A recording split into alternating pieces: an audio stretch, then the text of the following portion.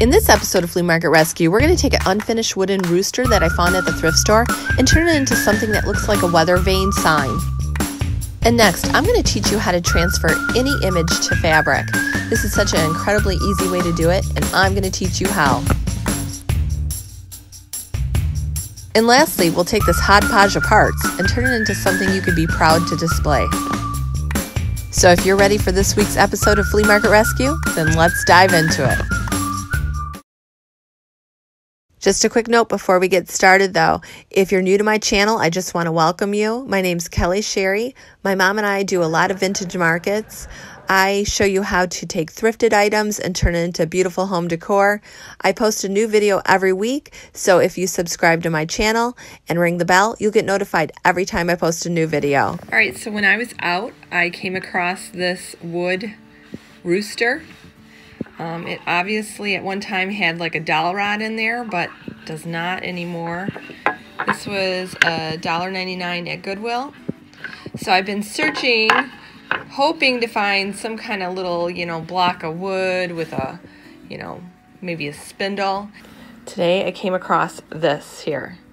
This was $2.99 and it's like the perfect spindle and it has a base so what we're going to do first, I'm going to cut the wire off because this is kind of wobbly. It's not really standing well. And then I'm going to take the top part wire off too. So I'm just going to unscrew these here. Just to get the sign off. So as I'm taking apart this thing, I'm starting to feel bad because I'm thinking, what if this is made by local artists? So I'm thinking this is made by local artist, you know. And then you turn it around and look it. It's made in China. Okay, so we took the sign off and now we're gonna we're gonna cut these this wire off, try to get this off. Looks like it's stapled in there, so I'll have to get my wire snip. Okay, so obviously my wire snips are right here on the rooster. Anyway, we are just gonna cut this with the wire snips try to, no, I'm gonna have to pry this. I really got this staple down.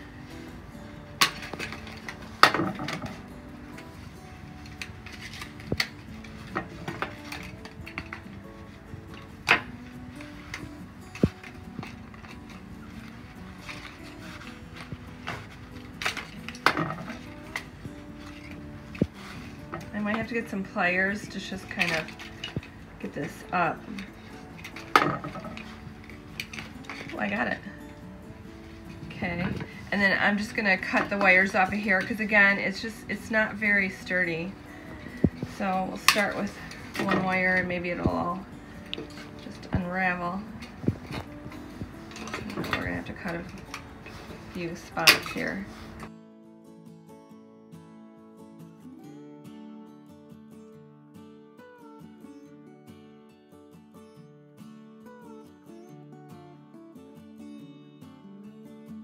All right, so I got everything off of here. However, I just feel like this is just too tall.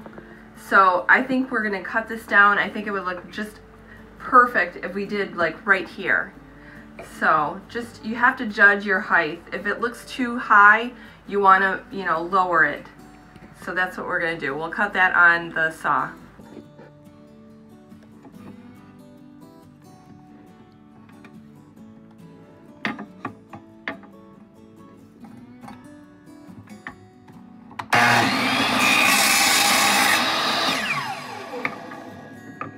So now that we have that cut, we're going to use our drill to drill a hole into it so that a dowel rod can sit in there and then a dowel rod will sit on the other half of the rooster and that will join both pieces together. So just go slow in the beginning till you get it started.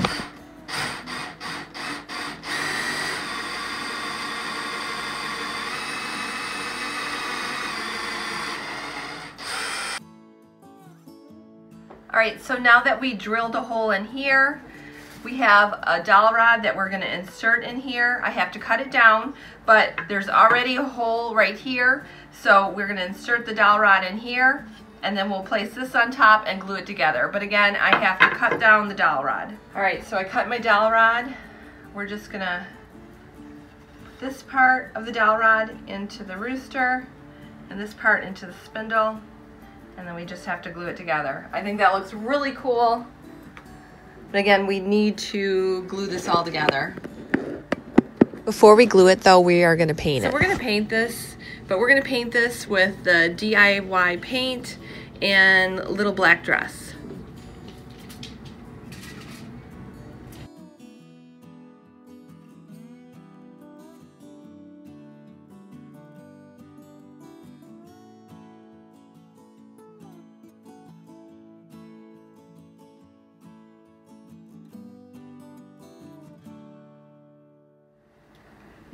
Like this green like this. I'm gonna keep that. Our um, rooster is completely dry, but I need to change this base because it just, it all doesn't flow well. So I'm gonna also paint that black. So we just wanna be careful because I wanna keep that green. So I'm gonna carefully paint around this.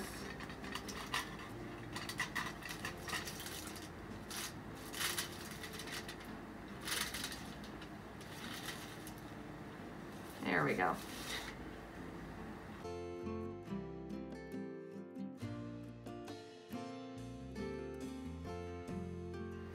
Okay, now that this is all dry, we're just gonna sand around the edges.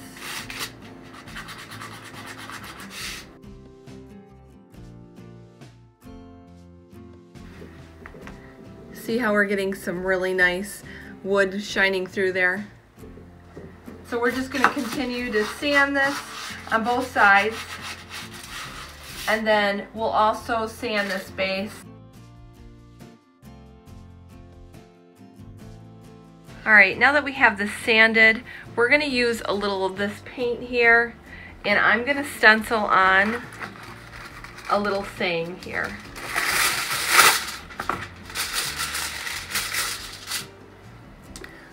I have this stencil that I got at the thrift store.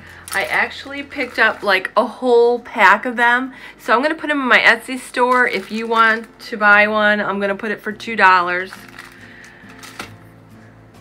So we are going to, I wanted to say Ben's Grain. All right.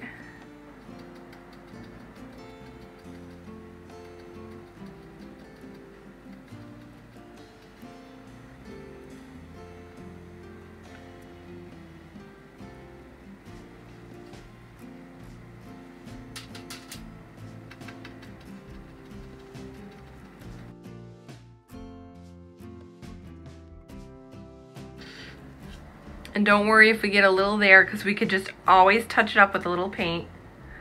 So Ben's grain. Or should I do Ben's seeds? Uh, no, I guess. Hmm. I guess I'll do Ben's grain. Or should I do Ben's seeds? No, you know what? We're gonna let's do Ben's seeds. That might look cuter.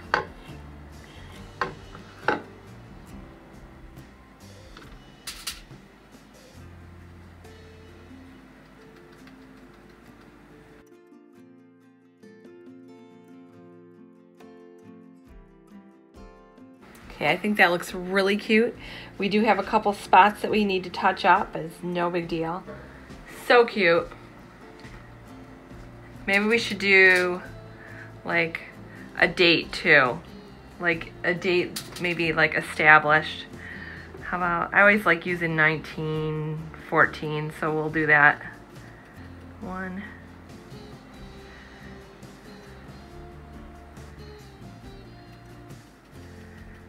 Nine,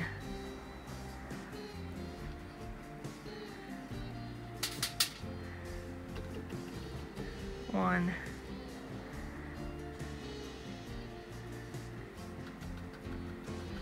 four. Okay, and then we'll just touch up whatever we need to with a little of that black paint.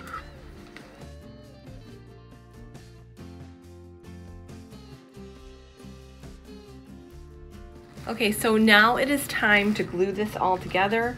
We are going to use this Gorilla Glue. It's a two-part epoxy, and once it dries, it is like really on there. You don't need to worry. So with this here, you need to squirt out two equal parts, and then we're going to mix it with a toothpick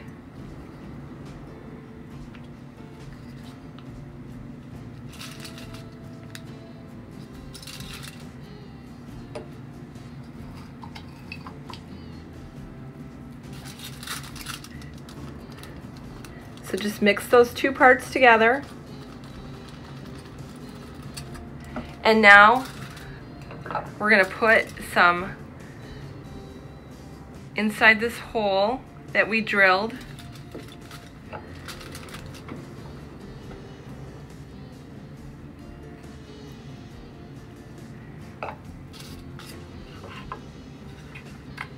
And we're also gonna put some right inside this one as well. Now we're going to join the two pieces together. And then you just want to let that dry overnight and it'll be rock hard. You don't need to worry about it anymore. So we'll just let that dry.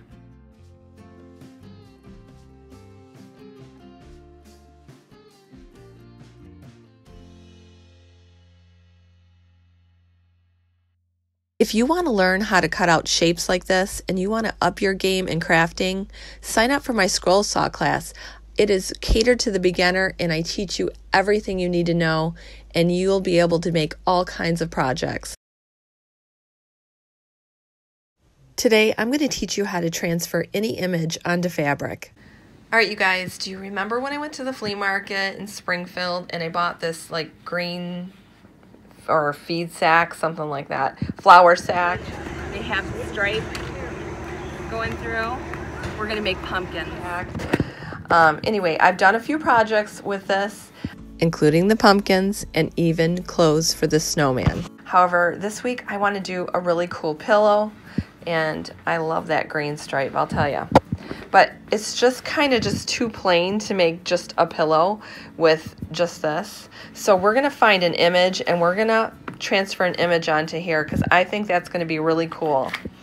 I Off of Amazon, I picked up this transfer paper and that's what we're going to use to transfer an image. So let's go ahead and find an image on the internet. You can get a lot of great graphics from the Graphic Fairy. They do have a premium membership, but even if you're not a member, you still can download some of these images. We're looking under the vintage chicken clip art and we're trying to find something. I want to keep with the whole hen, chicken, rooster theme. And I think we might have come across one here. I'm really loving this, but let's read about this. Um, okay, it was in 1828 from a printer's book. You know what? I love black and white images. I think we're going to use this one. I will leave a link in the description to Graphic Fairy and this image so that you can download this yourself. Now, when you're printing on fabric, you want to reverse your image. So I'm going to show you how to do this. I have a Mac computer, so it might be different for you if you are operating with Windows, but this is how you do it with a Mac. Okay, so open your image by double clicking on it. Go up to the preview bar and hit Tools. Go down to Flip Horizontally. And once you do that, it'll reverse the image, and that's what we need to do. You can save it or you can simply print it. Okay, so as you can see, I printed out this image. However, I don't feel like it is big enough for what I want to do here. Wanted to make this image larger, so I bumped it up to 175 instead of 100%. At that small size, we bumped it up a little more, like 75%. So almost double. Now I will tell you that when you do that, you might have a problem with your printer.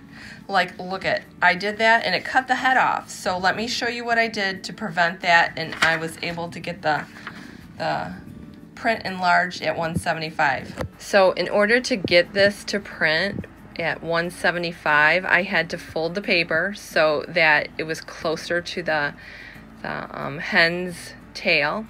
And then I flip that over and you have to put that right in the corner here. Right in the corner of your printer. like so, if you want for it to not cut off. All right, so we're gonna take our image that we enlarged here and we're gonna put it face down in the printer bed. And then we're gonna take a sheet of our transfer paper here and put that into the printer. Now there's two sides to this paper and if you can see there's a whole bunch of little dots here. This is actually the backing. We're going to want to print on the side that has nothing on it. So to do that, I'm just going to open my drawer here and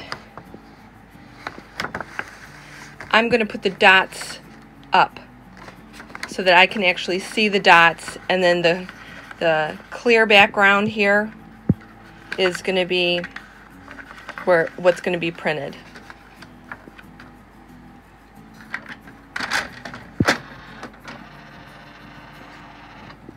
And again, we have our print face down in here. So I'm just gonna, we're gonna hit copy. I'm gonna make sure that I don't have this on 175% because no, it's actual size. So that's good. All right, so let's do this. I'm going to hit black. We'll see what happens.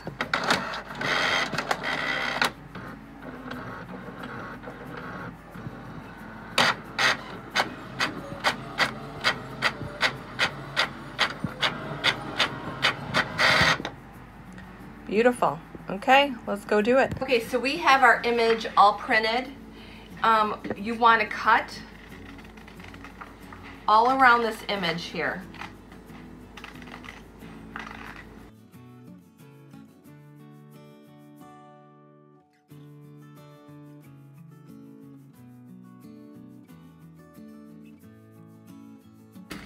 Okay, so we have that cut out. And we're just gonna place our image, like we're gonna center it and we're gonna put it like face down. I'm just gonna put some fabric over this. I'm gonna make sure that it's lined up properly. Looks good to me. And let's go ahead and iron it down. We're gonna take this hot iron and we're just gonna press it down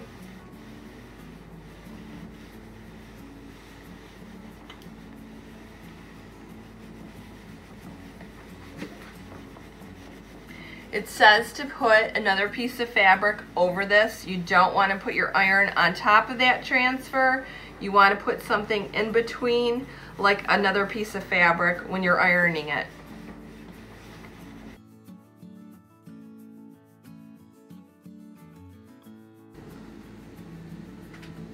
Okay, as you can see, we need to do a little more. This looks like it's down but again, not right here. So we're just gonna take the iron and go over it a little bit more. All right, so I'm just taking my iron and I'm just gonna go over it. I know that it said to use a cloth, but it just doesn't seem like it's sticking enough. So I'm just gonna go over it and then we'll see. All right, let's try this. Let's see what's gonna happen here. I'm gonna start peeling this up.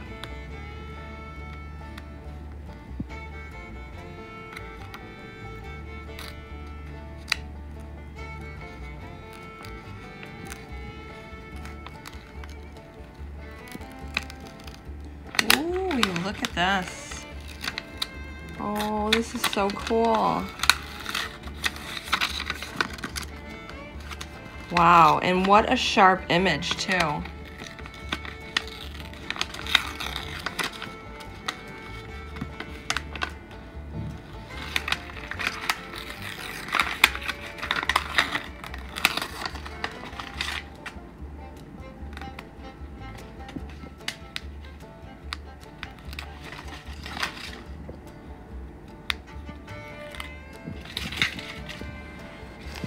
That came out great.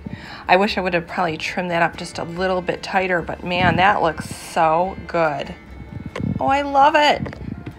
You guys have to try this. I'm going to leave a link in the description so that you can find this transfer. um, paper because it is awesome. I mean, think of all the things you can do with this now. All right, now that we have our image on there, we are gonna cut this fabric out so that we can make our pillow. So I'm just gonna cut straight across here.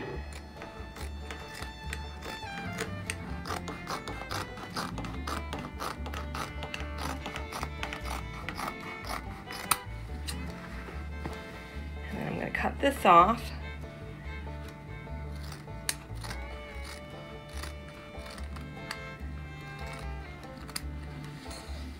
So now we just have this one piece. Let's um cut these two. Because I need to sew on the sides of these. I want to get rid of this. So we're just going to sew across. We're going to sew across here and we won't have to worry about that. Those unsightly parts of this bag.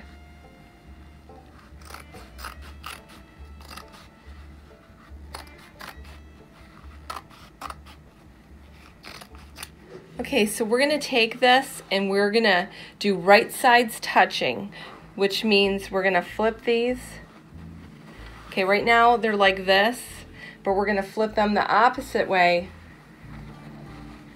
so that both of the right sides are touching. The sides you want to show are gonna be inside and the inside of the pillow is on the outside right now, okay? So now we're going to start to sew this all around. Now we're going to leave an opening here so that we can turn this. We got to make sure, yep. So right on the bottom of our pillow, we're going to leave a little opening, okay? We're going to just do a little opening here.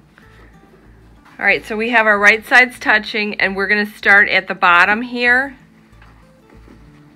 where our opening is going to be. We're going to start by sewing all the way around and then we'll meet back over here leaving an opening at the bottom.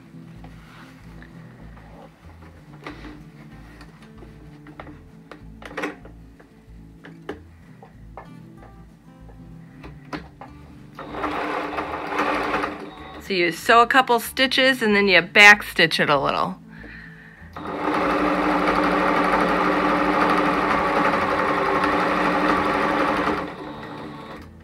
Now if you remember, we have that yucky part, so I want to totally avoid that. So I'm gonna turn it right now. And that should totally bypass it.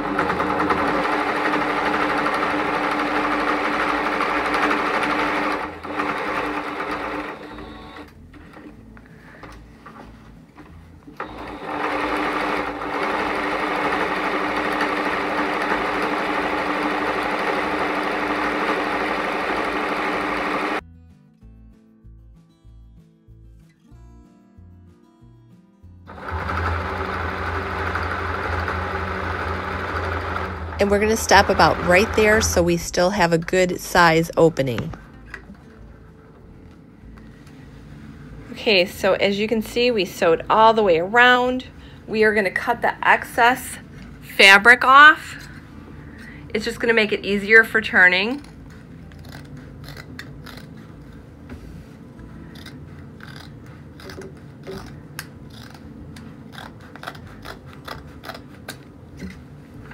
And then you always want to clip the corners. It just makes it so much easier for turning and it looks nicer too. So just always clip the corners almost, always clip the corners like almost up to the stitching but not, you know, cutting the stitching off. So I'm going to cut this side too. We're going to get the excess fabric off of there. It's just too much, too bulky. And we're going to clip all the corners. So again, you're want to clip up to the stitching, but not all the way, you know, cutting it. We're to do that again with this corner. Now we're going to turn our pillow. We've cut all the corners and now it's time to turn it. So you're just going to want to take the fabric and turn it inside out. Now with these canvas materials, it's a little tougher. Just gotta just work at it here.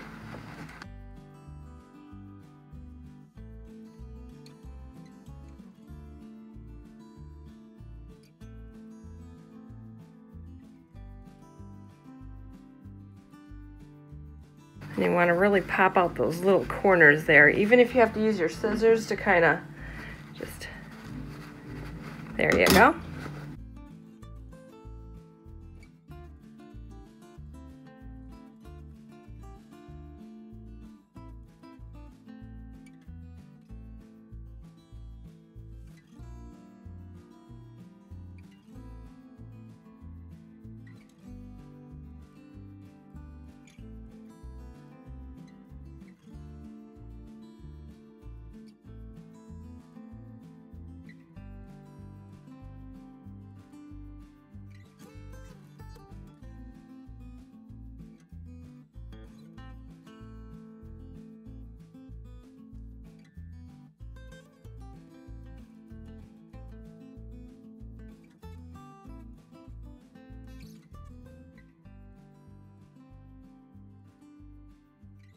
So this is really cute. Now we're gonna stuff it. So we're gonna use some of this polyfill. This is the best to use to stuff a pillow or dolls. It doesn't bunch up, it's just, it's the best. So we're just gonna start by stuffing a little in to our pillow in our opening here until our pillow's nice and full.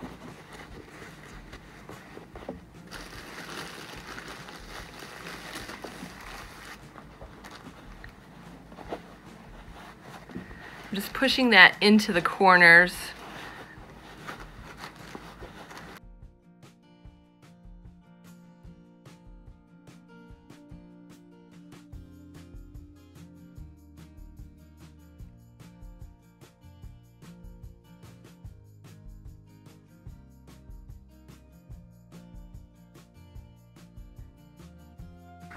Okay, so now that we have this stuffed, we're just gonna take a small needle and we're gonna sew this right here shut.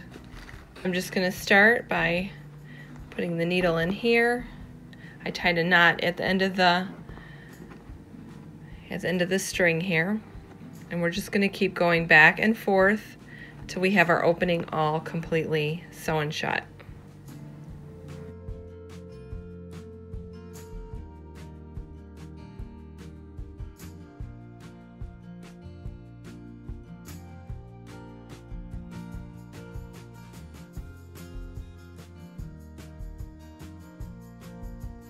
And then at the end here, you're going to just knot it off.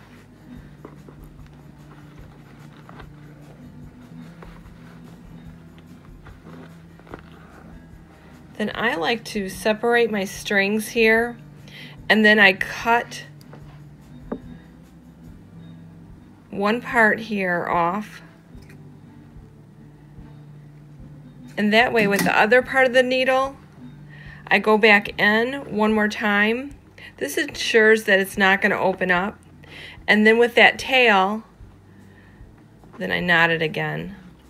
That way you just know that this is not going to come apart. And then we're just going to cut our ends. And our pillow is complete. Now, I always like to finish my things with a hang tag because I just think it gives it, you know, a finished look.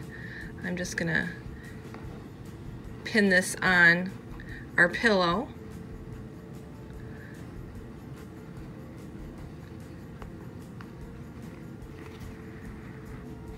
And look how cute that is.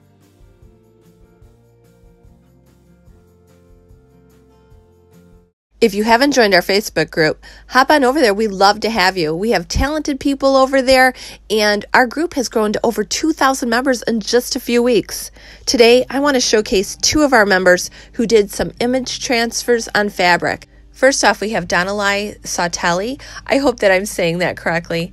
Anyway, she made this awesome canvas pouch. She layered it with fabric. She used Avery inkjet iron-ons. I'll leave a link in the description for the Avery iron-on transfers, but I love how she decorated it with the purple flowers and the vintage paper items. It's just a really spring-like display. Next, we have Nicole Capote, who is my mom's biggest fan and I want to showcase her stuff because she did such a cute job of this image transfer. These little ducklings are just precious. If that wasn't cute enough, take a look at these two. Nicole used Jolie's Easy Image Transfers, and I'll leave a link in the description for that as well. If you get a chance, check out Reimagine That. That's Nicole on Facebook. She does sell her stuff, and it's reasonably priced. She's out of Las Vegas, and as you can see, she does some really cute stuff. I want to show you this stool though. This was an actual bar stool and she put transfers on it and she cut it in half. Amazing. Just blew me away. Anyway, if you get a chance, check out Reimagine That. So, as you can see, there are a lot of products out there that you can transfer images onto fabric, and there are a lot of projects that you can do this on. All right, so I found this at the thrift store for $2.99 and I know you've seen me do this before with like a bird. But this time I found, um, I don't know, is it a hen? Is it a chicken? Uh, anyway, or is it a rooster? I'm not quite sure. But anyway, it's a candle holder. And then I actually found a candle holder. So when you put this on top, it's like these two were meant to be together.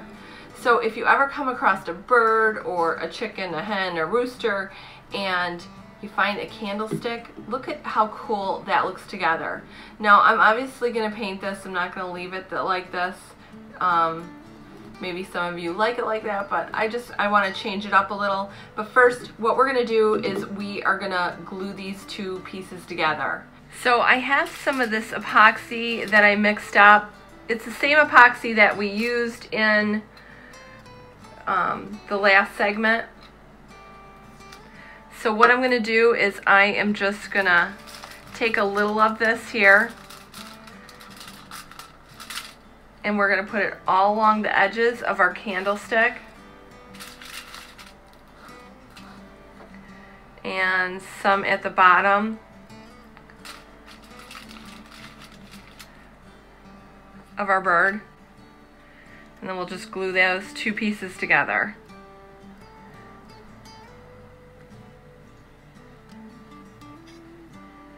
Make sure it's on where you want it to be because once this dries, it's going to be on there. I think that looks good. We're going to let that dry. Once this was dried, I took it outside and I sprayed it with flat black protective enamel.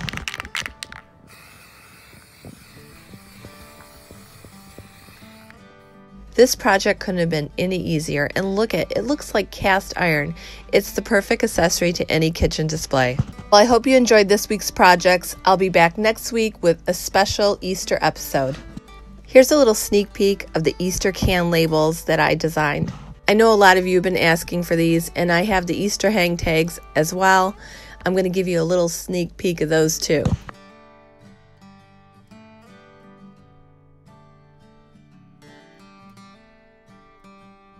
And if that wasn't enough, I've been working on some fruit and vegetable hang tags. I thought you could put them with your kitchen gadgets, such as like maybe an old vintage colander, maybe some antique scales, even raspberry pints. It would just be really summery and very cool. Well, that's it for this episode of Flea Market Rescue. If you like this episode and you want to see more episodes like this, make sure to subscribe to my channel and ring the bell. I'm Kelly Sherry, and this has been Flea Market Rescue.